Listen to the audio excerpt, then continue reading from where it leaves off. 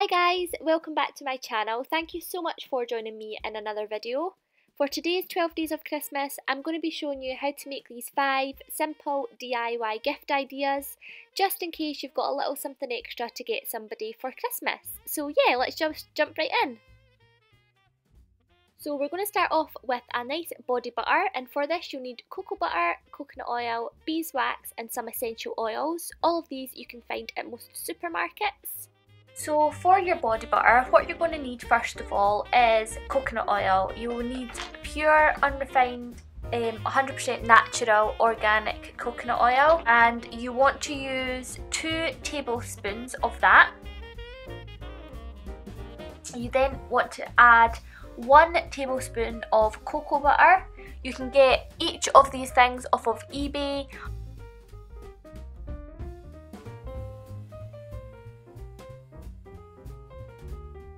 and then to that you want to add half a tablespoon of beeswax. Now the pot might look a little bit full when you do this, you might think that it's going to overflow but when these things are hot they're going to melt and then they're going to combine together and they'll be a lot smaller than what they started off with. So the easiest way to melt these is to put it into a heatproof container first of all, which, I'm, which is why I'm using this glass jar and you then want to stick it in the microwave and for 10 second intervals. Pop it on for 10 seconds, take it out and mix it together because the beeswax, the coconut oil and the cocoa butter are all going to melt at different temperatures and at different times. So you just want to keep taking it out and stirring it until all of the ingredients have merged together. Once your ingredients are melted together, it's time to add a um, fragrance to your moisturiser. So you can choose to use a fragrance oil or an essential oil. I've chosen to go with lemongrass and you can choose any sort of oils you want. I got mine from eBay. And make sure though that it is a fragrance oil that is safe for the body. You just want to add about 10 to 20 drops of that into your pot and mix that through. So I've left this to dry overnight and this is what it looks like now. It's like completely solid and yellow. Now, excuse this little nail, I broke it, um, I'm very upset about it, but I'm going to fix it. Anyway though, what we need to do now that our um, moisturiser is hard is take a toothpick or a spoon, anything that you don't use and you want to give it a little mix. And this is just to make sure that it stays creamy in the pot.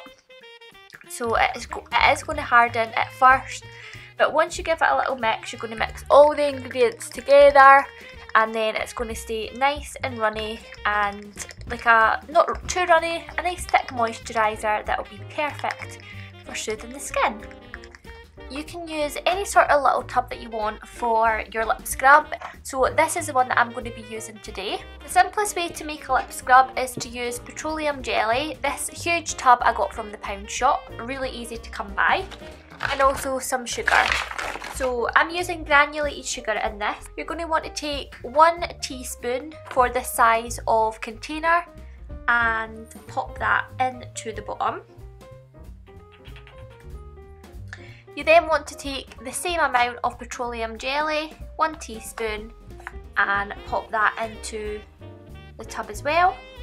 What to do is if you can't get it all in like I've done here, just leave this to the side and grab um, a toothpick or any kind of like wooden stick. You can even use a lollipop stick if you want and just mix the sugar and the petroleum jelly together and then you want to just take a bit, rub it on the back of your hand and make sure that it's got enough sugar in it. If you feel like it's too rough, you put more petroleum jelly in and if it's too soft, put more sugar in. Now it's completely fine to leave the sugar scrub as it is there, but I want to add a little bit of colour to mine, so I'm going to take some red natural food colour in. Um, food colouring is great to add colour because of course it's natural, it's safe for cakes and baking, so it's going to be safe to put on your lips as well.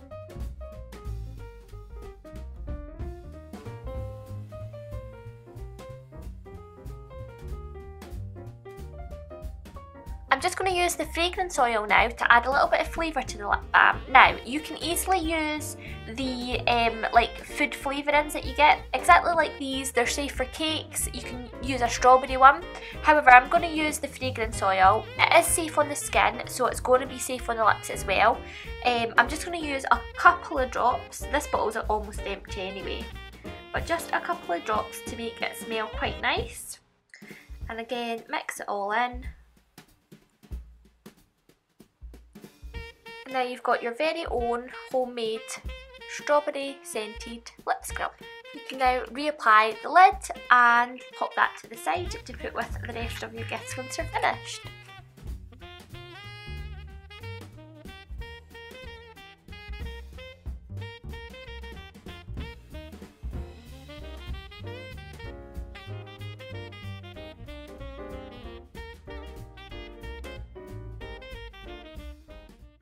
We're going to make some gorgeous water marbled mugs. So for this you're going to need a whole bunch of nail polish that you don't mind wasting, um, a glass bowl full of water and two mugs. First of all you want to take your bowl of water and some of the nail polishes that you've decided to use and just do a couple of spots in the water.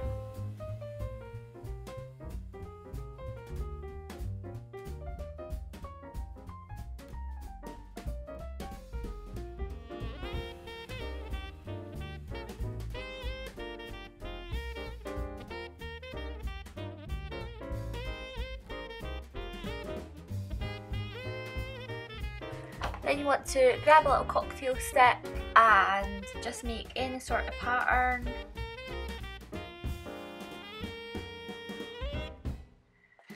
And then you just want to dip your mug into the water. And this is what it looks like. And then you just want to place that on a little bit of kitchen roll to dry. You can put it on plastic as well. I'm just going to pop this on a little bit of kitchen roll just now and then I'm going to do another pattern for the other side. Now before you start on your next pattern make sure to just take the scum off of the top and again you can just use a cocktail stick for that because the excess nail polish will just stick to the top of the water.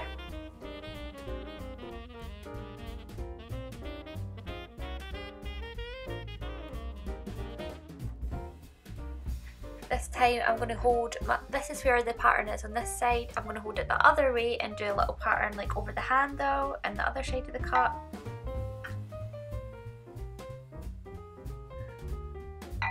Yay! It looks so good! This is what the cup looks like. Of course you can do it the whole way around if you want, but I kind of just like the way that this looks, just like that. Um, I might let it dry and then decide what I want to do, but let's move on to the other one. I'm going to do the other cup different colours.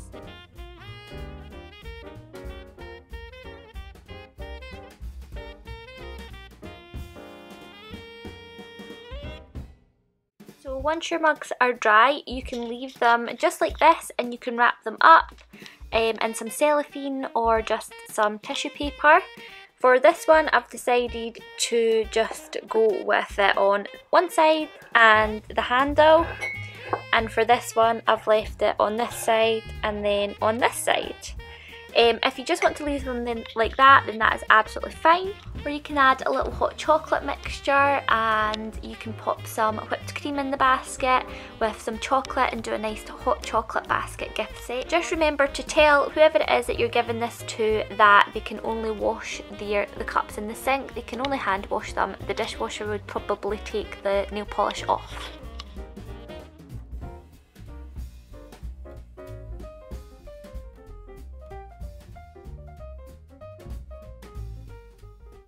To make a beautiful infinity bracelet, you're going to need some pliers. You can also use um, some tweezers. You'll need some chain, an infinity symbol, along with a lobster clasp or any choice of um, bracelet or necklace closure that you have, and some round little silver loops as well. So first of all you want to take your chain and you're going to roughly measure how much you're going to need for your wrist and obviously bear in mind that you're going to be attaching the infinity symbol in the middle so you're going to need a little bit less and maybe the person that you're giving this to has a smaller or bigger wrist than you. So just take all those things into consideration. And once you're ready, just want to roughly measure it with your fingers and remove one of the loops from the chain. Now I am using these little pliers that are from a jewellery kit. You can get these from like craft stores, um, you can get them off the internet. You can even just use like a pair of tweezers if you want. It's really just to enable you to pull the loops apart. So the first thing we're going to do is attach the infinity symbol to the chain. I've already done it on this side, so I'm now going to show you how to do this side. It's exactly the same for both sides. So you want to take your little hoop like so, and you want to open it using your pliers. Now you can get the pliers at a craft store, like I said, or you can just use tweezers for this. Once it's open, you want to loop that on the chain and then onto the infinity symbol. So like that. And then you want to close the hook off so it's nice and secure and the bracelet's not going to fall off. And now that the infinity symbol is on, you want to make sure that we can find the middle of the bracelet to attach the little clip. The best way to find the middle is just to pull both ends of the bracelet, shows that where the infinity symbol is sitting, and then chop one of these loops, like so. I'm going to choose this one here. And what you want to do is just open it, just like you opened the chain initially to measure it against your wrist.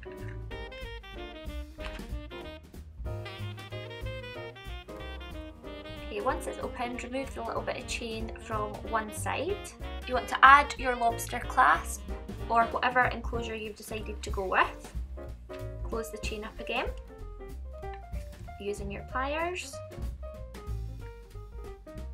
And then you want to add a little hoop that we used before. Again, open that up and add that onto the other side, like so. And then to add your little charm, I've just chosen to go with this little butterfly that says created for you. You want to take another loop, just like we've been using to attach the infinity and this little loop at the end. You want to open that up using the pliers, pop the little butterfly charm on, and you can add this anywhere that you want.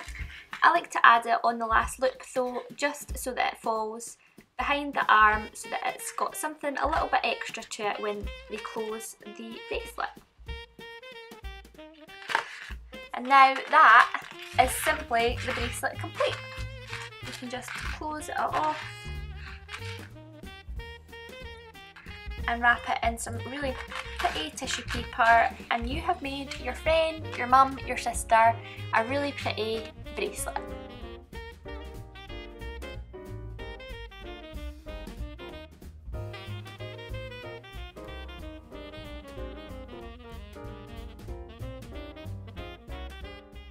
To make a cute little date jar for your partner, you'll need some pretty cardboard, some white card, some ribbon and a glass container of your choice. So you just want to take your card and your pen and write out any sort of dates that you and your partner would find fun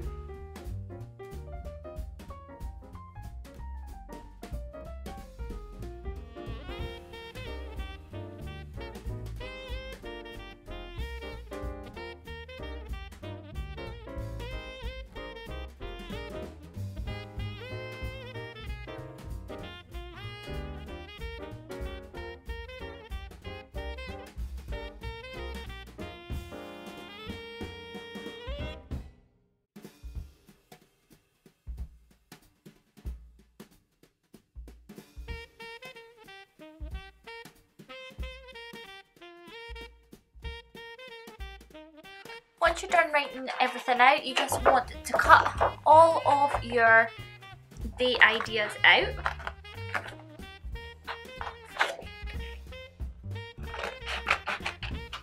You then want to fold your little dates up and pop them in the jar.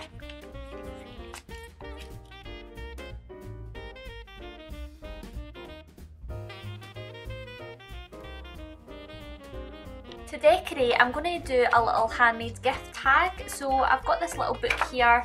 Um, I think this, I got this from like Hobbycraft. And this is a really nice paper. So I'm going to cut a little gift tag out of here. I'm going to flip it on the back side and draw a gift tag shape.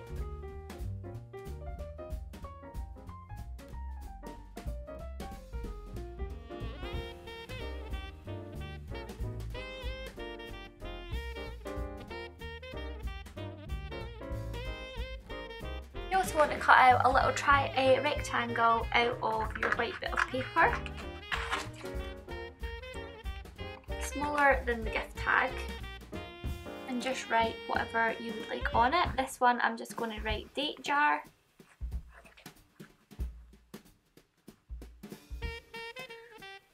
And then I'm just going to take um, my pen and poke a little hole through the top.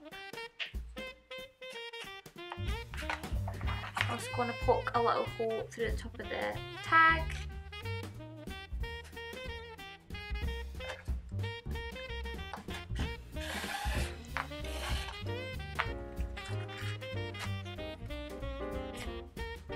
You want to make sure that is in the middle of the ribbon so that you can now tie this onto the lid of your jar.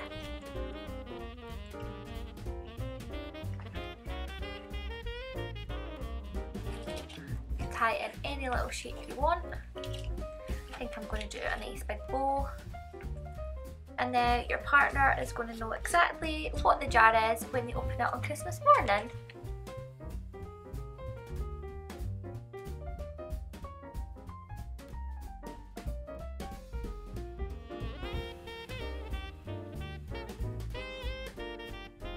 I really hope you've enjoyed the video. I hope it's given you some handy little tips and hints for some gift ideas if you are running a little bit late and a little bit stressed out with Christmas looming over us.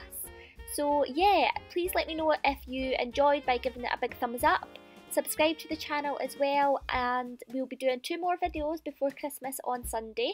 Leave a little comment letting me know what was your favourite DIY and if you recreate anything, tag me on Instagram. So yeah, if you do subscribe then I guess I will see you tomorrow with another 12 Days of Christmas video. Thanks for watching. Bye!